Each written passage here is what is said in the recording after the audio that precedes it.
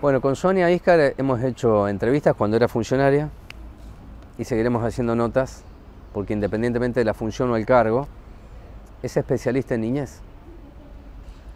Y estoy convencido que lo que se puso en la mesa y rápidamente intenta taparse la discusión sobre la niñez. ¿Qué significa esto? Esto significa, por lo menos para mí, eh, que no funciona el proceso exculpatorio. No funciona. No podemos decir que lo que pasó es responsabilidad de otro o de otra, es nuestra, como adultos. Y ahí está la crisis que se ha desplegado, aun cuando empiecen a bajar algunas aguas, que el Estado hace eso, es su función también. Pero escribiste una nota que la publiqué en Desalambra, en donde escribe Sonia cada 15 días, en donde da cuenta de algunos parámetros. Imaginemos que mañana hay denuncias sobre algún sector de otra profesión que no sea docente. ¿Qué tendrían que hacer? ¿Una marcha y paro? Es muy interesante eso, lo que escribiste, porque en realidad sí salió un paro y hubo una marcha. Y se equilibró y se equiparó a los niños con los adultos. Bueno, muchas gracias por estar aquí, te escucho. ¿Cómo te van? Sí, a mí la verdad es que lo primero que me sorprendió desde mirando desde afuera la situación es la, reacción de, los adultos que claramente tendría que haber sido de, contención, de digamos lo, que se exige en estas situaciones justamente es proceder como si la denuncia fuera cierto, eh, protegiendo a los más vulnerables y ponerse a disposición de esa investigación eh, no subirle el tono a la discusión y tomar esa actitud cuasi corporativa de, que con los docentes no. La verdad me llamó mucho la atención, no conozco los hechos de violencia que dicen que ocurrieron, pero me parece que el lugar de los adultos justamente es proceder como si fuera cierto y ponerse a disposición de lo que haya que investigar y de deslindar responsabilidades, porque también es cierto que seguramente no todos los docentes de ese jardín están involucrados. Ahora sí tenemos que poner todo a disposición para que se establezca quiénes sí y quiénes no, o cuánto sí y cuánto no cada uno, ¿no? Entonces esa reacción, digo, esta misma semana eh, ocurrió que un periodista fue acusado de, acoso y de, maltrato por, por varias de... Y la verdad es que no hubo un paro de periodistas por, por esa acusación. Me parece que lo que procede es investigar y que sea la justicia la que lleve los resultados que tenga que llevar a quienes tenga que alcanzar con esos resultados. Es un proceso que lleva mucho tiempo, ¿verdad? Y requiere paciencia, entonces se mezcla la urgencia de las mamás y de los papás de saber y el tiempo. El abordaje que se hace con niños que están refiriendo lo que más o menos algunos saben, que ocurrió algo, fotografías que lo vestían, los, desvestían, que es un payaso un monstruo, el temor. Eh, ¿Cómo es el abordaje judicial? Porque hay una causa. Y como decía recién ahí, bueno, hay un servicio local, los acompañamientos tienen que ser presenciales. Eh, eso quiero saber. Eh, me gustaría que lo expliques eso, por favor. Sí, mira, en principio aclararte que, que, como tema en principio no es un tema de niñez, del sistema de protección de niñez, porque el sistema de protección de niñez le corresponde intervenir cuando el chico está siendo vulnerado por aquellos que deben protegerlo. ¿Padres o tutores? Sí, o claro, progenitores, tutores. En este caso no, en este caso tenemos adultos que están protegiendo. Eh, cuando yo estaba en el cargo, sí nos ocurrió con un jardín de la zona de Trujuy. ¿Qué es lo que decía recién una, una acusación de abuso? Sí.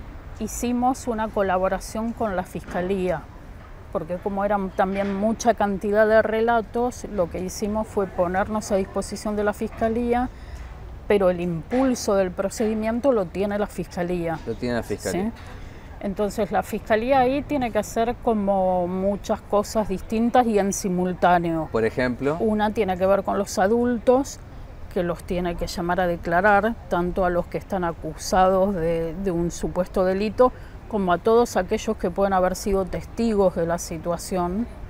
Eh, Tiene que llamar a la directora, a las docentes, a todas. Sí. Estamos hablando de este, caso Jardín 950. Sí, sí, porque en el relato que hacen de que a los chicos los sacaban y los trasladaban, también los otros docentes o el personal auxiliar pueden haber visto, es, pueden haber visto o no, justamente de lo que se trata es de que vengan o a confirmar o a negar eh, si vieron o no vieron esas situaciones y por otro lado tenemos a los chicos que estarían siendo las víctimas de esas situaciones. El abordaje con los chicos siempre corresponde que sea en cámara GESEL. Bien. En, las causas penales, ¿sí? En, otras no.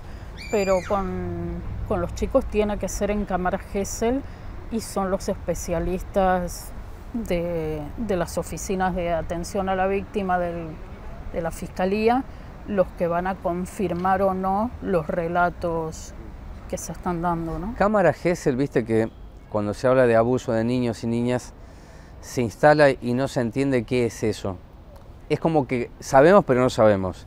La Cámara Gesell es básicamente una declaración en sede penal, pero en un espacio especialmente preparado para, para atender a un chico. alguna vez? ¿Viste alguna vez esto? Eh, adentro de una cámara GESEL no, afuera, no, estuve, nunca. Nunca. Y la, declaración la toma un psicólogo psicóloga, lo toma un profesional especializado y los defensores de, quienes estén acusados y el fiscal está escuchando esa declaración. Eh, ¿Los padres y madres pueden estar? ¿Deben estar? Mm, con el chico no. No, no, no afuera, mirando, porque me imagino un vidrio que no se ve del otro lado y todos aquí escuchando. Me imagino eso. Sí, pueden estar. ¿Sabes que creo que en ese procedimiento es clave la autonomía del profesional?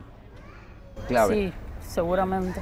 Lo digo así porque si el profesional que va a hacer cámara Gesell tiene una cucaracha y le está diciendo esto, esto y esto, y como me interesa hablar del jardín, creo que perdimos de vista algo. Son niños de tres años 13 años. A un niño, yo tengo un niño de 4 años, no se le puede decir qué, cómo, cuándo y dónde y lo responde. No es así, no es un adulto. Entonces, ¿sabes qué siento? A veces la rabia que tengo es que le estamos pidiendo los adultos que los niños digan qué, cómo, cuándo y quién fue. Igual, ¿no? Eh, por un lado nosotros, yo sé que, los profesionales de cámaras GESEL están muy preparados. Eh, no, no es que que tenemos un problema con los profesionales que hacen cámaras. No es la autonomía, dije yo, ¿no? La autonomía. Está bien. Con lo que sí tenemos un problema es con el colapso de la justicia y con los tiempos tal vez de esa cámara GESEL, por ejemplo. De hecho, tengo entendido que estos chicos todavía a ninguno les tomaron ese testimonio, ¿no? Es, Vamos no, no estaríamos tanto ante un problema de, esto de la autonomía o del manejo del relato, sino de los tiempos para, para que eso se, se, concrete. Ok, voy a tomar lo de Sonia, los profesionales están bien capacitados, yo no hablo de esa capacitación en profesionalismo, sino la autonomía para poder hacer el trabajo, porque hay una suerte de presión que han recibido los fiscales esta semana, porque si la Dirección General de Escuelas dice voy a denunciar penalmente a los padres y a las madres, después todos los gremios dicen estamos amenazados, eso sirve como presión, eso lo digo yo, no lo dice Iscar, lo estoy diciendo yo. Ahora, ¿cuál es el tiempo esto ocurrió hace una semana. La denuncia, no sabemos la gravedad, si fue o no fue, lo aclaro, ¿no? Pero ¿cuál es el tiempo que debe existir para que puedan producirse las cámaras GESEL a los niños y las niñas que han referido algunos parámetros que son semejantes? Sí, sí, sí. En Moreno se están registrando demoras muy importantes. De todos modos, eh, no es algo que yo te pueda contestar fuera del caso concreto porque también en el caso concreto va a depender de la contundencia de otros elementos probatorios. ¿Como cuáles, Sonia? ¿Cuáles podrían ser eh, contundentes? Por ejemplo, si hubiera cámaras en el lugar, que es una cosa que desconozco, y se verifica y se verifica que los traslados existieron, o si los relatos de otros testigos dieran cuenta de que a los chicos efectivamente los sacaban eh, o si en los teléfonos o en las CPU esas que secuestraron encontraran algún tipo de, elemento probatorio, estaríamos en una situación como de mucha más urgencia, ¿sí? Entonces, eh, los tiempos de, la justicia, más allá de que Moreno tiene un problema con los tiempos de, la justicia, también van a depender de esto, de qué tan transparente, digamos, sean otros elementos que se puedan ir encontrando. Eh, bueno, el jardín puede, las autoridades mostrar los libros, y cada institución hace un acta, ¿viste? Todo es un acta.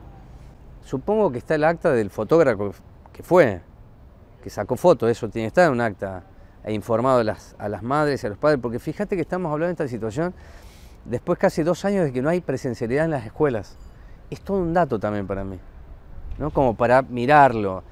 ¿Qué pasa cuando vuelve? Bueno, aparece todo aquello que probablemente estaba en algunos hogares, porque hemos charlado y has escrito notas sobre lo que es el abuso intrafamiliar. Ahora, yo no puedo cargar sobre la estadística del abuso intrafamiliar en algo que está señalando a una institución, precisamente para cuidar la institucionalidad. Hablemos de lo que se hizo, qué no se hizo, qué está, qué no está. Sí, de hecho, por ejemplo, a mí me llama mucho la atención el relato de los payasos. ¿Por qué? Porque me pregunto, ¿eso ocurrió dentro o fuera del jardín? Si ocurrió dentro del jardín, tiene que haber registro de, esa actividad y de quiénes eran y de, qué, de cómo se planteó pedagógicamente esa actividad. Eh, o, y, si ocurrió afuera, estamos en otro escenario, ¿no? Pero bueno, esto, me parece que hay una cantidad de elementos en todo esto que está circulando que debería ser mucho más sencillo de poner en claro y a partir de ahí vamos a saber claramente en qué escenario estamos. Sonia, eh, dos preguntas finales. Con los niños no y con los trabajadores y trabajadoras tampoco. Porque fue un flyer, es, es, una convocatoria. Cuando la leíste, ¿qué te pasó? Mira, a mí me pasó que mm, yo, de hecho, te repito, no conozco si existieron o no los hechos de violencia. Creo que los hechos de violencia no son la vía más allá de que puedo entender la reacción de los padres, eh, creo que los hechos de violencia no son conducentes y, que claramente hay que evitarlos. Mm, también a pesar de mi escepticismo hacia la justicia, creo que la vía tiene que ser la justicia. Eh, pero la verdad es que como actitud me pareció corporativa y me pareció poco contenedora de la situación terrible que están atravesando los chicos y los padres. Y de paso te cuento una anécdota un poco risueña. Yo me escapé del jardín a los tres años porque iba a nada y un día noté, porque iba, era muy observadora, entonces iba a nada al jardín y noté que el jardinero entraba y salía y dejaba la puerta sin llave.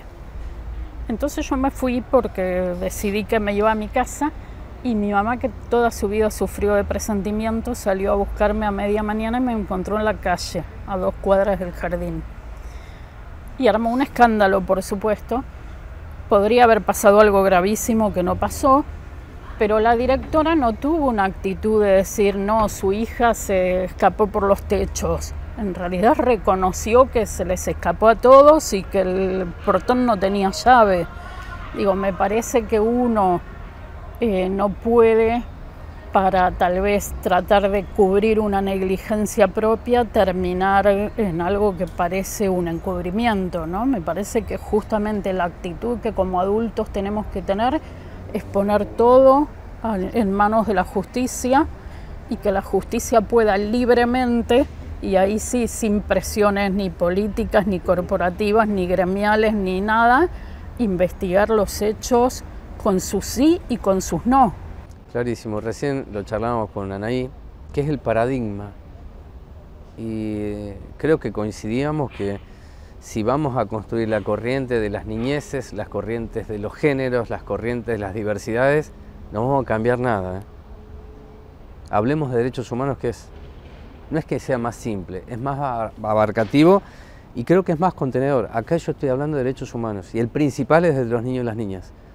Y eso ha generado como, una, como un terremoto. En algunos que me sorprende y en otros no me sorprende tanto. Pero sí que el Estado ha reaccionado de una manera muy monolítica, apuntando a los adultos, desconociendo a los niños. Eso no había pasado nunca. ¿Vos recordás algo así?